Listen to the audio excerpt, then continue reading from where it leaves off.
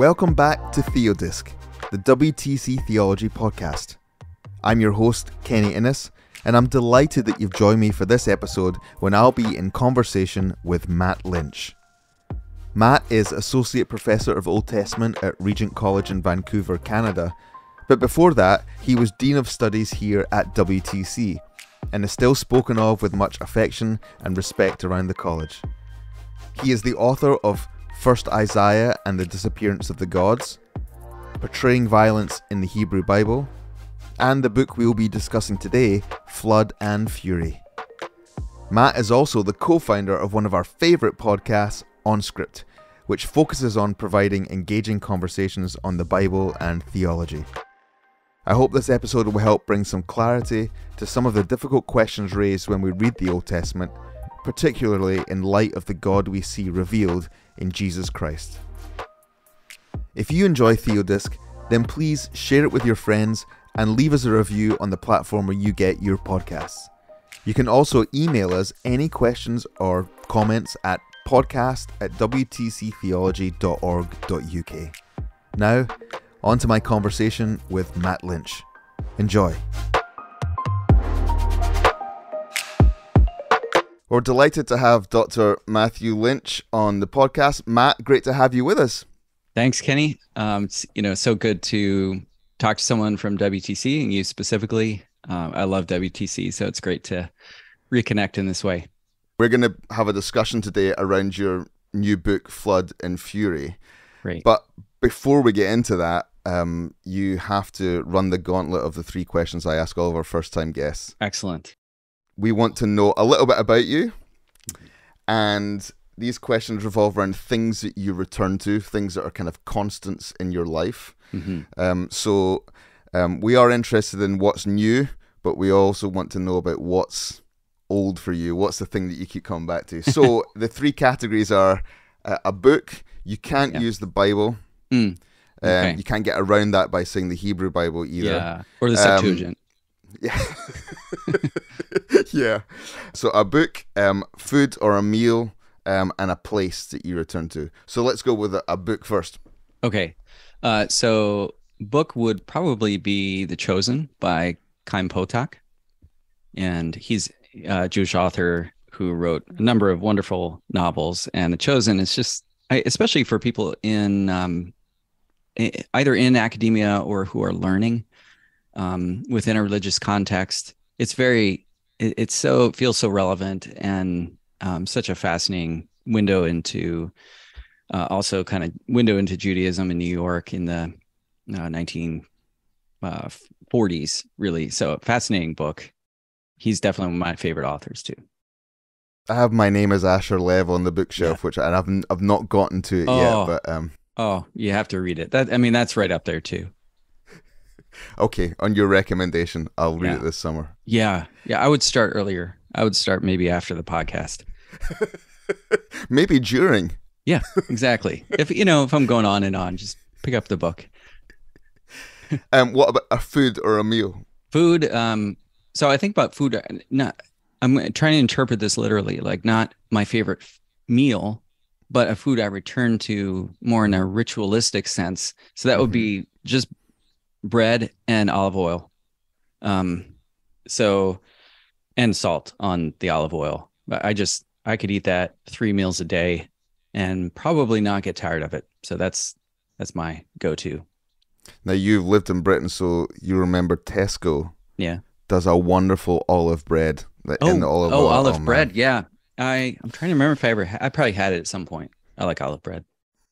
Okay, and a place that you return to. Uh, so here in Vancouver, we often go to Pacific Spirit Park, which is it's um on the peninsula where University of British Columbia is and Regent is. Um, but it there's this huge like they call it the endowment lands, and big forested area with giant Douglas fir trees, and sometimes like even if it's raining, it's so gorgeous there because all the moss in the forest just lights up. It's almost like the lights Hmm. turn on with the rain. Wow. So um, yeah, I love going there. Amazing. Brilliant. Thank you.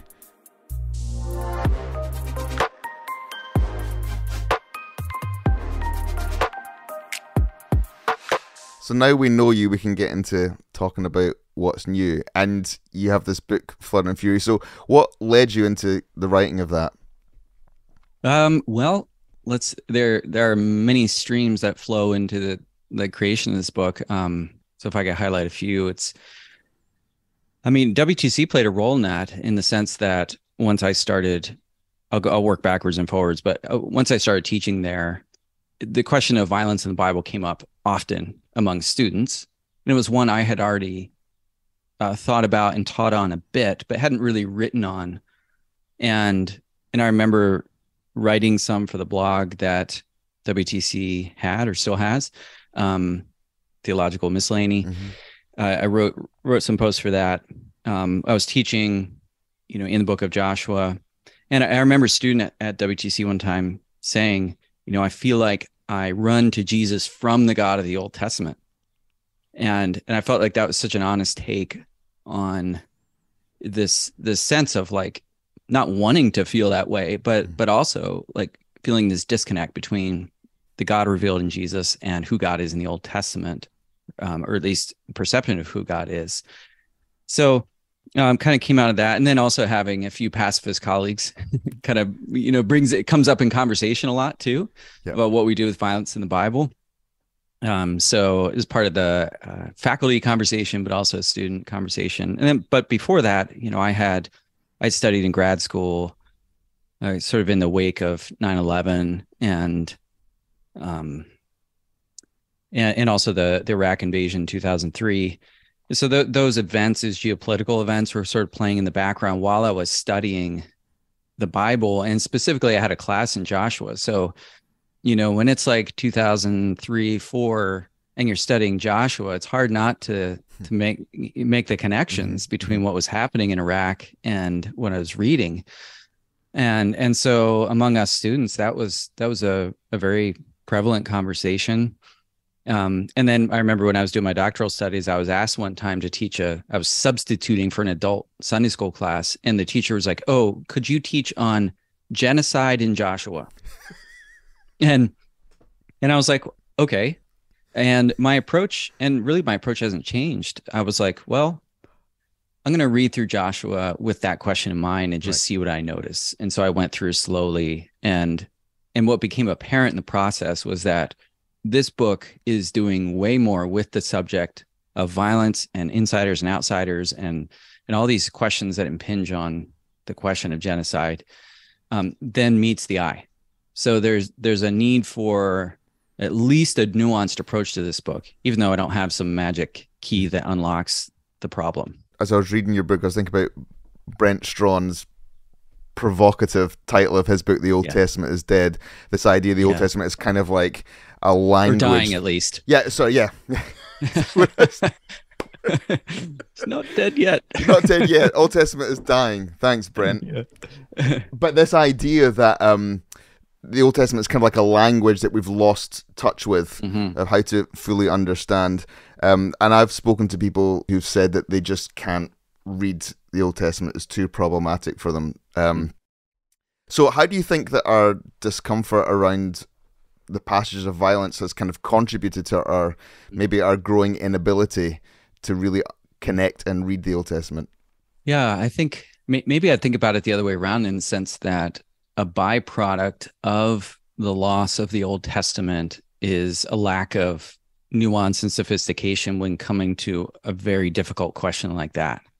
So in in a way, like you can get by. So if your facility with the Old Testament is very weak and you just sort of, you know, maybe check in with it every once a year, that's Psalm 23, um, uh, then then then you can get by with maybe some simple questions about like um, you know, whether whether God is creator according to the Bible or mm-hmm. something like that. You know, it's mm-hmm. just the, those introductory questions. But when it comes to like dealing with a very complex and challenging ethical issue, if you're if if you're in a kind of church environment and you personally um, have have lost facility with the full range of the Old Testament and an ability to speak it fluently, to use Brent's language, um, not just in the sense of knowing dates, places, and content, but actually knowing how the Old Testament works uh, historically and its genres and so on, um, then then you're you're left with like at maximum sim- very simple and simplistic approaches to the problem of violence.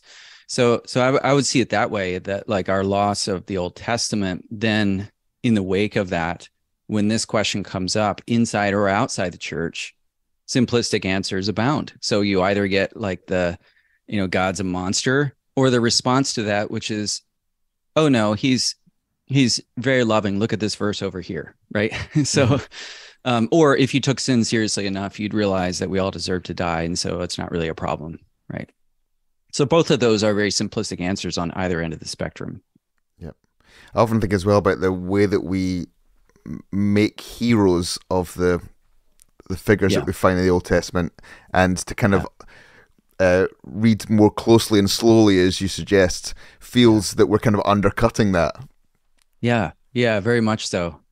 Um, yeah, you can. I think people don't like to lose their heroes, whether it be David or mm-hmm. Nehemiah or um, even Joshua. So I, I think um, that that's that that comes out of a particular model of how to read the Bible, which is these are examples, like little life lessons throughout the Old Testament given to us in in kind of like isolated as isolated islands mm-hmm. that can be taught and directly applied. So I, th- I think yeah, all those are are factors for sure. So in the book, you do you urge us to be wary of these approaches that you've mentioned mm-hmm. Um, mm-hmm. that um, make it easy to resolve mm-hmm. some of the difficulties. Um, actually, there's a there's a point where you really argue against seeing it as a problem that needs to be mm-hmm. solved. Maybe some of the yeah. approaches are taking that angle where we need to solve this and get this fixed. Yeah. What kind of approach would you suggest? Yeah, so I, I I outline a number of approaches that have elements of merit to them that, at least in my estimation, um, but I think ultimately fall so- short in part because they offer a totalizing solution to the problem. Um, and so with violence, there's um, there are so many different factors impinging on this this issue that that's not to say that we can't know anything about how to move forward. Um, but I think recognizing it as a wicked problem, not in the moral sense, but as a very tangled up problem um, means that we respond to it accordingly. And and there's this great study that says like me- wicked problems require messy solutions, and messy doesn't necessarily mean that you're just going all over the place. Right. But it but it means that you you have to approach it in a multi pronged uh, and and sometimes like field adaptive way. And that's what I try to do in the book and try to model that where I come at the you know the flood story the book of joshua from different angles throughout throughout the book because well if you if you look at it this way you see this if you look at it this way you see this um, and i think that's actually a more responsible way forward with this kind of issue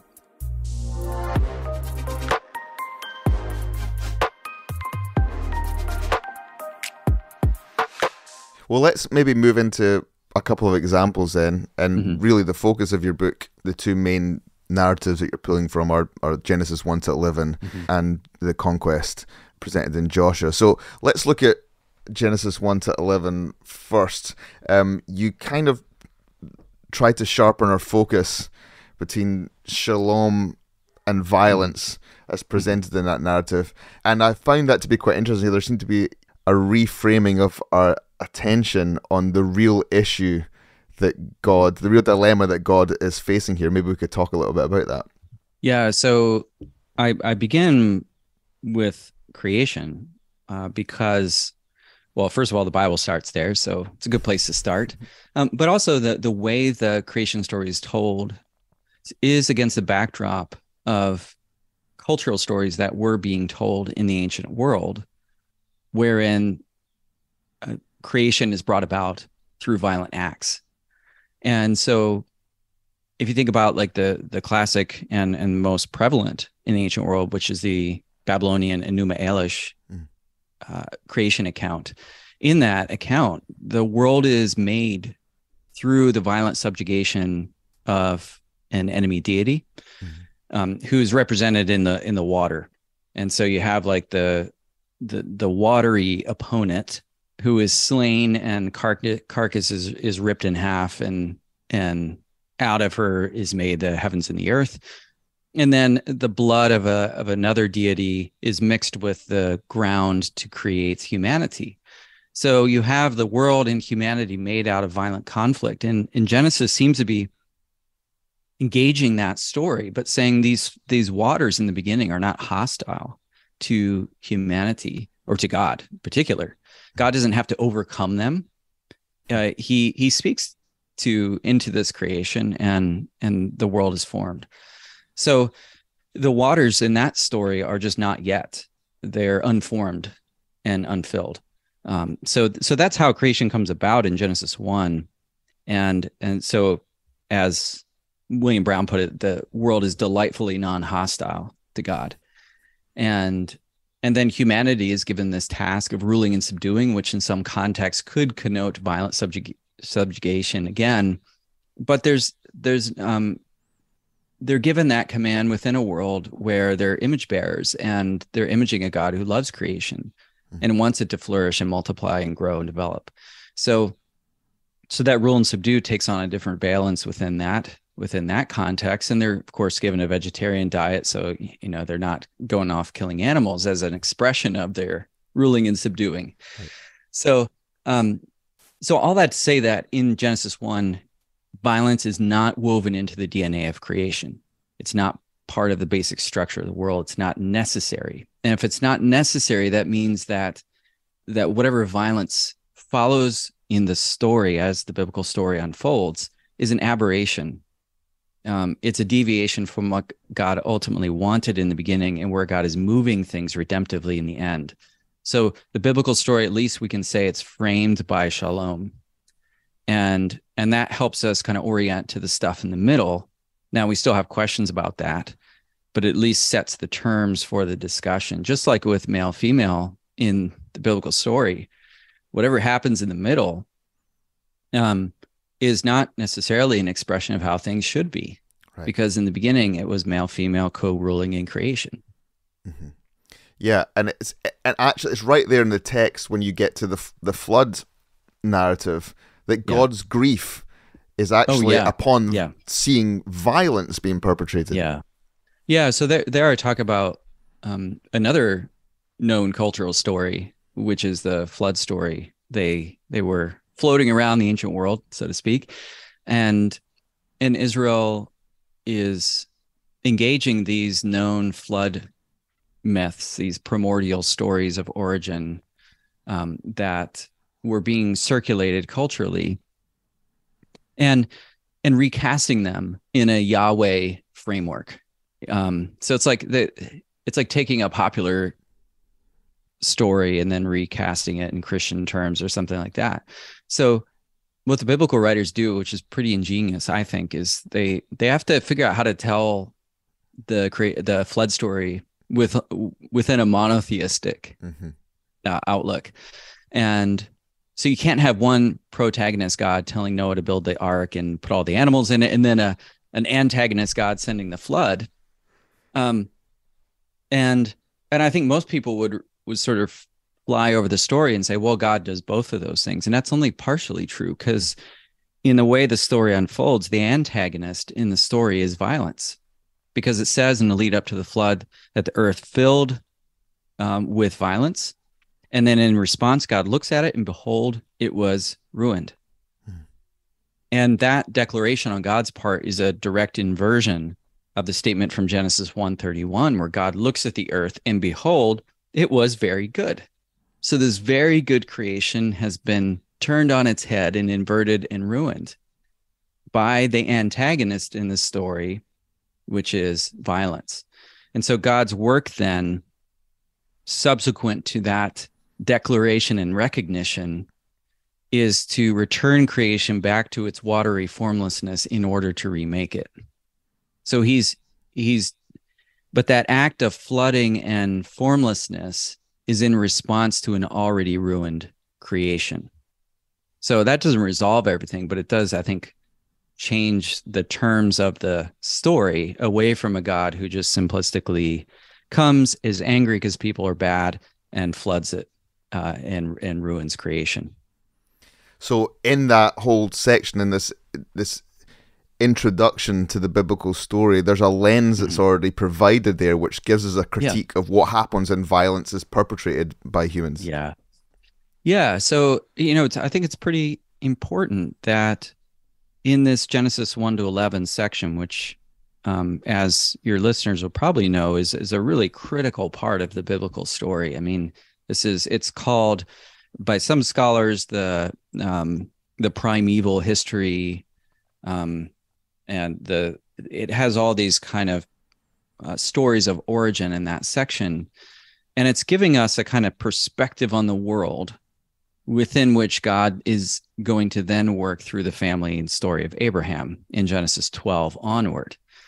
But this backdrop in Genesis 1 to 11 is not just kind of FYI stuff like if you're interested in in like, you know, ancient history. Um, th- these stories are told to tell you something about the nature of the world as it is, mm. as we experience it now. Yeah. Um, and so, yeah, it's it's definitely a lens, and within that, then violence plays a lead role. You know, all the way back in Genesis three, we're told that there's going to be this conflict between the offspring of the serpent and the offspring of the woman, and it's going to involve uh, violence. Uh, so striking at the heel and the woman striking at the serpent.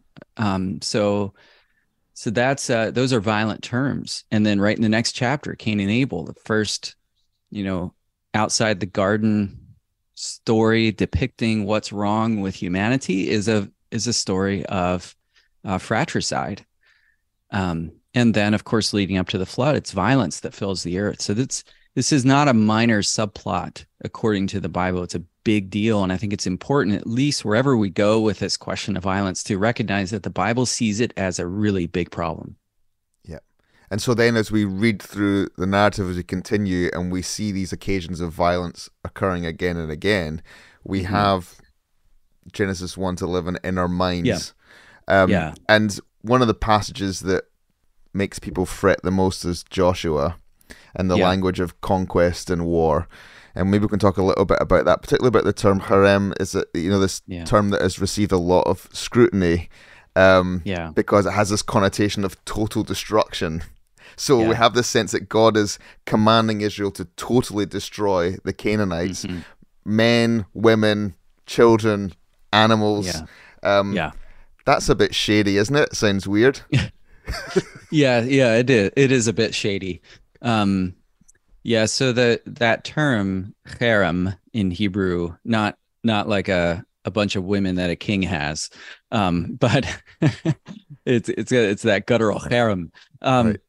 That's the the show them no mercy, wipe them out totally um, term. It comes out of the book of Deuteronomy, and and that's really where it's not the first occurrence of it in the Bible, but it's where it's it becomes a term to talk about the um, a law or a command that God is giving Israel regarding the Canaanites.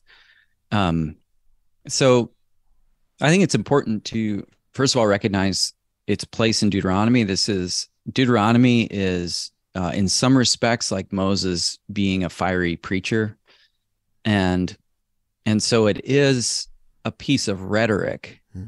Um, or if you if you if you think of it as like a polemical piece, uh, where you would expect in a highly polemical piece exaggeration, um, over the top language, vivid colors, stark black and white terminology.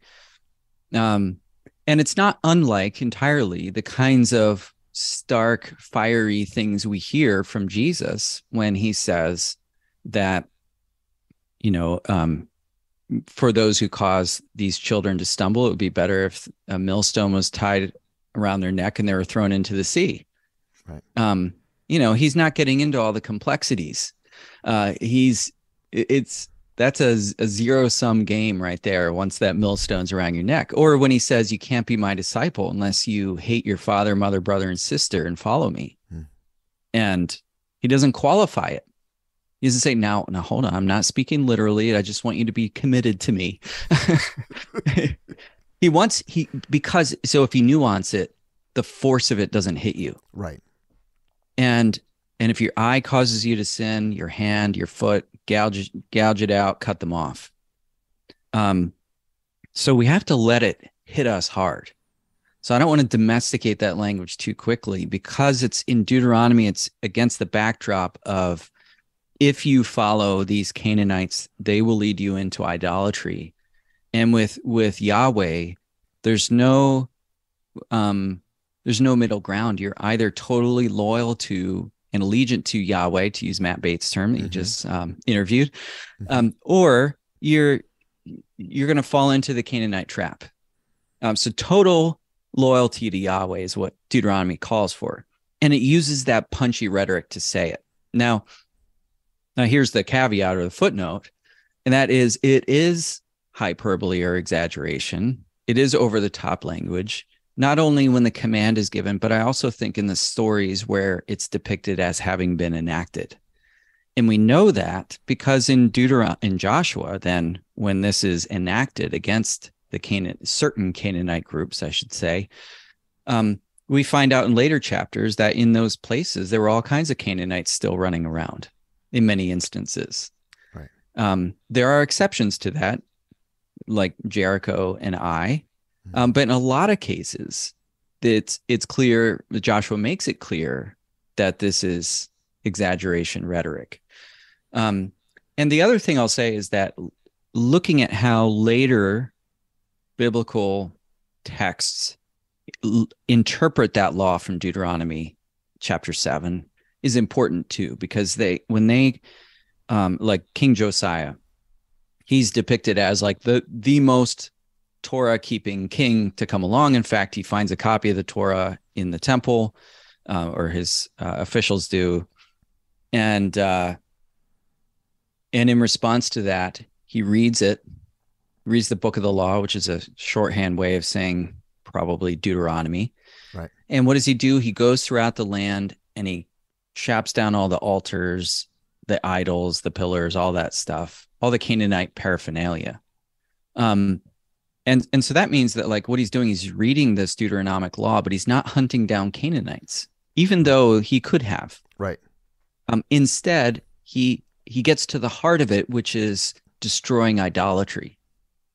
And that that tells us and there are other examples of that that when when biblical writers are looking back on that law they're not applying it literally they're applying it in reference to avoiding idolatry and the kinds of intermarriage that would lead to idolatry because that's the core issue. So while there are still instances where there is violence by the sword, and that's just yeah inescapable, uh, I like that sense of um, of getting to the heart of what Moses is really commanding. Yeah. And I think yeah. you know it's possible, isn't it, for us to say that if a if a nation has its gods wiped out, that that nation mm. is in essence um, yeah. humiliated and brought low. Yeah, that's a, that's a good way of putting it. Yeah. yeah.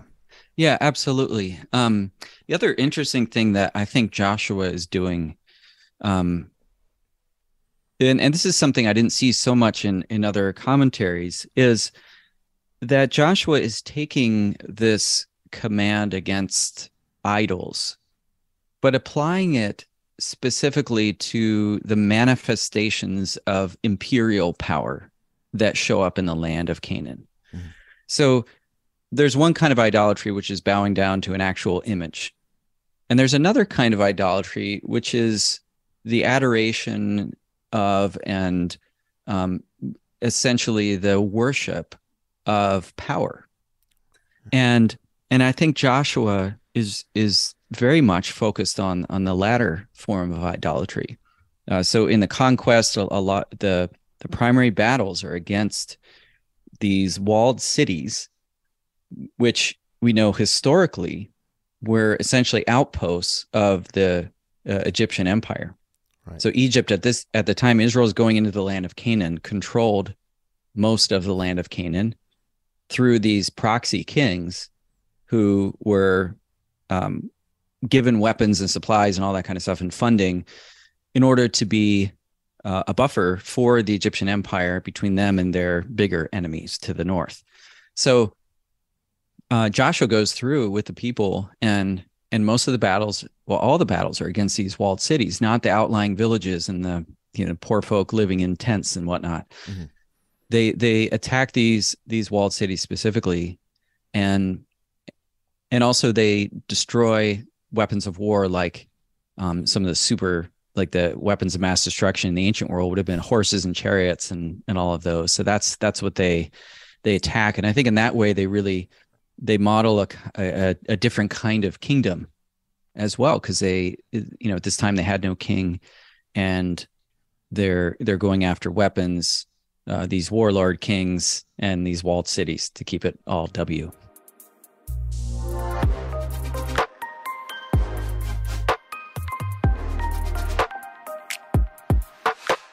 in the book, I really encourage people to read it because you you do walk through various different nuances that enable us to see what's really going on. But another thing that you're keen to do is to continually draw it back to Jesus mm-hmm. and his character. Um, I've often heard people when they talk about problematic passages of Vance in the Old Testament, they say they will read it with a Christocentric lens, which, if you yeah. interpret that, really means to them if it doesn't line up with the character of Jesus we can just kind of yeah. dismiss it or explain it away yeah. but I yeah. loved your observation where you said that um, Jesus shows us the kind of person that's possible to become through a deep immersion in an understanding of the scriptures mm-hmm. so mm-hmm. that must mean there's hope for us as his disciples yeah I that was that's really important to me that you know we recognize historically the person of Jesus was someone who grew up in a scripture immersed environment and we see it and we hear it in his teachings that he knew scripture inside and out um, from an early age in the temple um, to his teaching as an adult. Jesus curriculum growing up because we know he he's he wasn't known to be a student of any particular rabbi. His his rabbi was was the torah was the the hebrew bible. And and i do i do find hope in that because it means that there is a way in which deep immersion in the scripture and being guided by the spirit in that endeavor lead can lead to the kind of life and teachings that we see in Jesus. And so even though I might not in every particular instance be able to point to this text and show you exactly how it leads to Jesus. Mm. Like that's that's a maybe a too tall of an order. Um but I can but I can pan out and say the whole taken as a whole and and through continual meditation on this day and night as joshua itself commends um, that that that is a process by which the spirit can work in us to move us to become more like christ so even though we might have our questions and problems along the way i think looking at jesus example does provide that that kind of hope that you're you're speaking of and it's vital for us as we've spoken to reclaim the old testament and to value it yeah. because if we worship Jesus, he's the culmination of that narrative of that Old Testament story and not a conf- in conflict with it. Yeah. Yeah, he's not the sort of it, it, Jesus is the mystery revealed, so there is a surprise element to Jesus, but the surprise isn't that it turns out God's actually nice. Um, that's not where the New Testament writers go.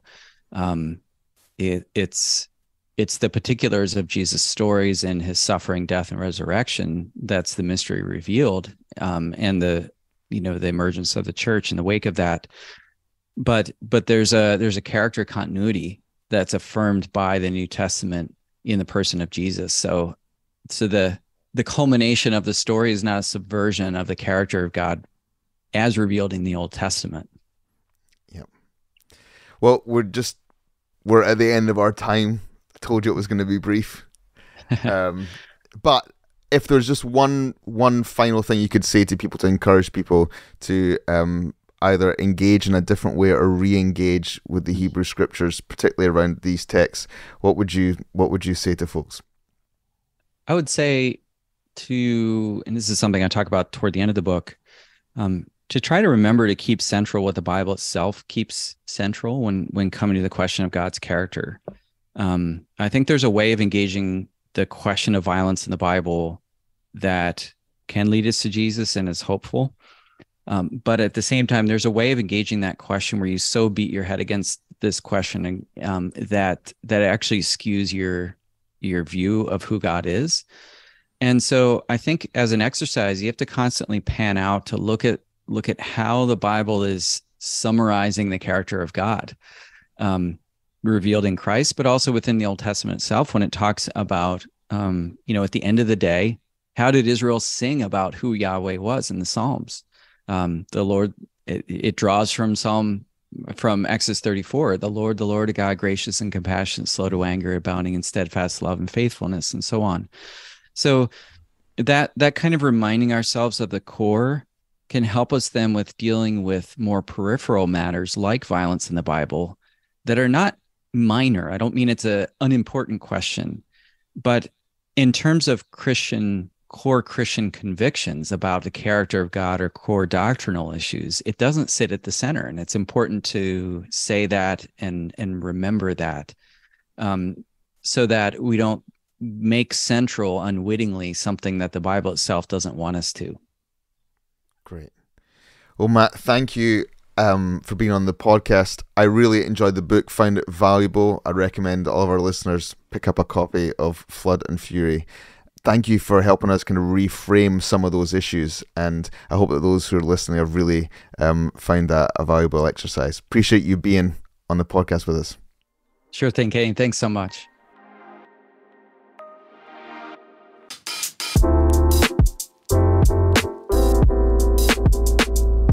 Well, thank you, Matt, for your excellent book, Flood and Fury, and for giving us a renewed impetus to seek out the depths of meaning in the Old Testament, especially within the difficult passages. In our next Theodisc episode, Kenny will be chatting with Jack Johnson, who teaches theology in praxis at WTC and is a PhD candidate at St. Andrews University. Yes, Kenny, we know it's in Scotland. Jack will be giving us some valuable insights into prayer and its many facets. When we pray, how do we understand the tension between God's sovereignty and our agency? Jack will share his thoughts. Theodisc is part of WTC, a theological college that seeks to partner with the church through equipping and sending the whole people of God. Our innovative hub model allows you to study on any of our part time programs without leaving your work or ministry. Come and find out more at wtctheology.org.uk. Thank you for listening to episode 18 of Theodisc. Join us for episode 19 with Jack Johnson as we explore what it means to pray. Bye for now.